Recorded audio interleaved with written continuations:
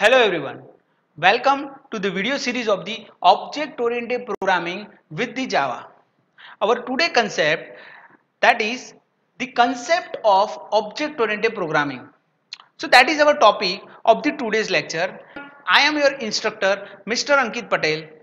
So let's start with the concept of object oriented programming. So what are the different concept of object oriented programming? So the first concept that is a class. Now our next concept that is object. Next that is a data encapsulation. Next that is a data abstraction. Next inheritance. Next polymorphism and the last that is a dynamic binding. So let's start with the first and important concept of the object oriented programming that is a class.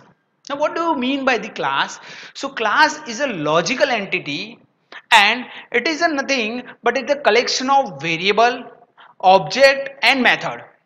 So class is a set of object with and similar property and common behavior and common link to the other object. So basically class is also called as an class is a collection of objects what do you mean by the object that we are discussing because that is our next topic that is our next concept that is object. What is object? So object it is a real world entity. So if you are think about what is the use of the object so basically object it is used to access the property of the class. Now how to access the property of the class, what is the syntax of the object, how to create the object of the class? That we are discussing later but object is whenever you are creating the class the object role is the most important because using the object you can access the data the method of the class now object is nothing but it is an instance of the class. Suppose you are seeing in the figure here the one person is there and there are the different different object. So what are the what is object and what is class? So here the person it is an object uh, person it is an class and the person name like the person is Ankit is there, Hiren is there, Suresh is there. So these are the different different person it has uh, nothing but it, these are the object of the class. So this is all about the object. Now our next concept that is the data encapsulation. Now what do you mean by the data encapsulation? So data encapsulation it is a nothing but it is a wrapping of data and function wrapping of data and function into single unit. It is called as a data encapsulation. So data encapsulation means it is also known as a class because class is a nothing but it is a collection of method and the variable. So the behavior is look like it is also called as an data hiding. Why it is called as an data hiding? Because data hiding means what? In a class, all the data and function are combined into the class. And it is access only with the object of that particular class. So if you want to access the data in our main function, so you need to create the object of the class. So using the object, you can access the data. So all the data of the class are in the hidden format that's why it is called as data hiding and again it is a most important feature as far as the security is concerned that is the data encapsulation now next concept that is the data abstraction. What do you mean by the data abstraction? So data abstraction is nothing but the quality of dealing with the idea rather than the event.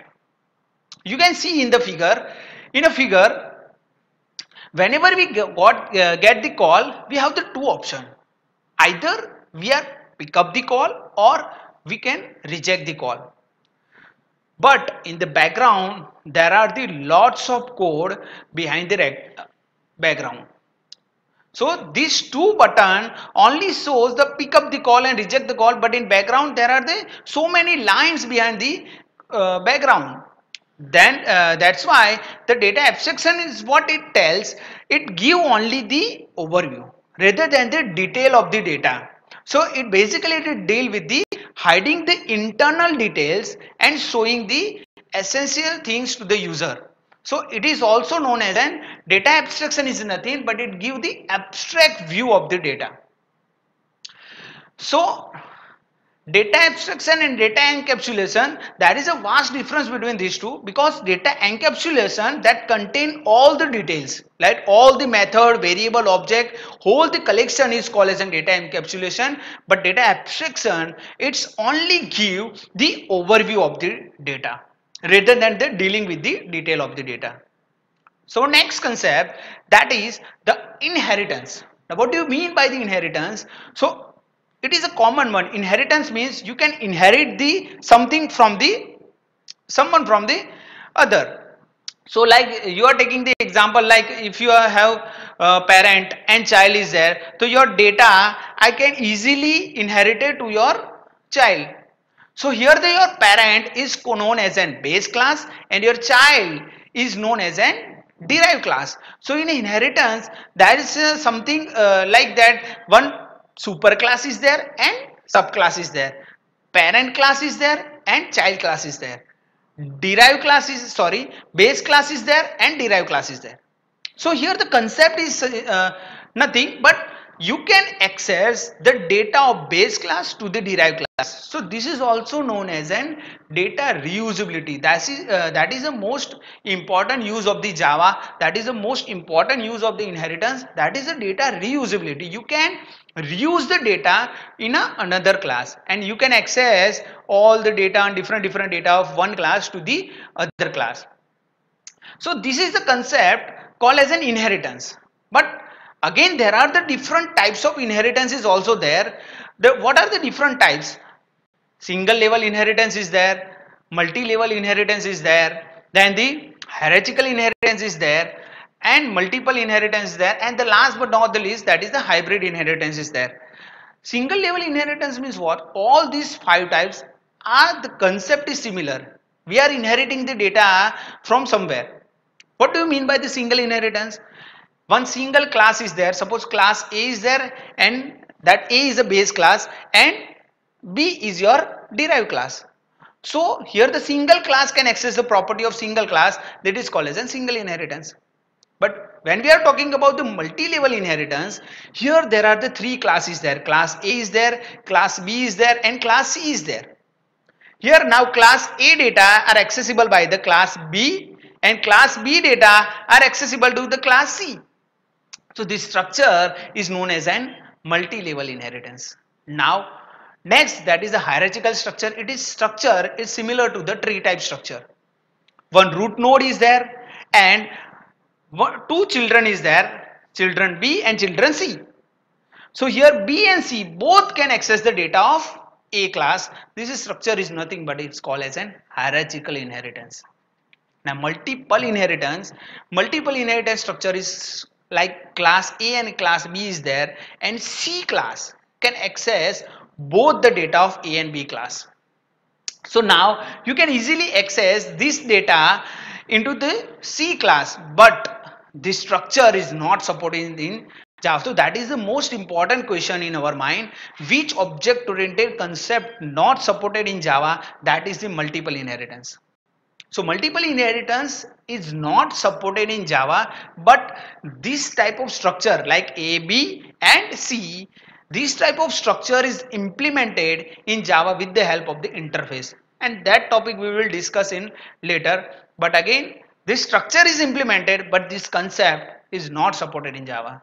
Now the last but not the least that is the hybrid. As the meaning of the hybrid it hybrid any two combination means any two combination of the inheritance is nothing but it is called as an hybrid inheritance either you can combine a single or multiple either you can combine a multi-level and hierarchical any two combination is called as an hybrid inheritance now our next concept that is the polymorphism.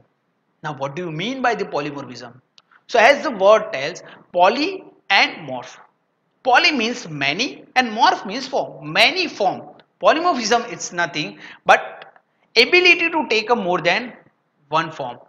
So if you talking about the example, let's take an example of the addition sign. So what is the use of this sign? If you are use this sign with the digit, like if you are uh, calculating like 5 plus 2 that produce the result 7 so addition sign plus sign is used for the addition and as well as plus is also used for the to concatenation of the two string.